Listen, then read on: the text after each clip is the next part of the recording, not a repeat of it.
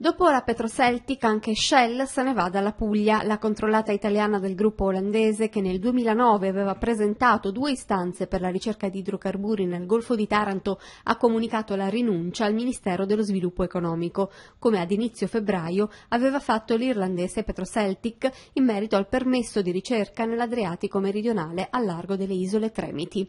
Ad ottobre scorso la Shell aveva ottenuto il via libera dal governo Renzi per avviare le ricerche, scelta che scatenò la protesta protesta della Regione Puglia che già nel 2013 aveva bocciato le istanze della multinazionale.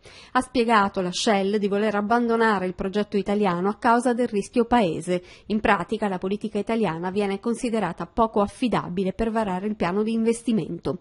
Il 17 aprile si voterà per il referendum abrogativo antitrivelle. Se si raggiungerà il quorum e vinceranno i sì, alle compagnie petrolifere verrà impedito di sfruttare i giacimenti senza limiti di tempo, così come previsto prevede la normativa vigente. Fermare le trivelle, commenta il coordinamento Notriv, non serve solo a difendere il paese e l'ambiente, ma anche a pretendere dal governo di cambiare rotta sulla strategia energetica nazionale e di investire finalmente nell'economia delle rinnovabili e dell'efficienza energetica, settore in cui paradossalmente dovremmo essere leader in Europa e non agli ultimi posti.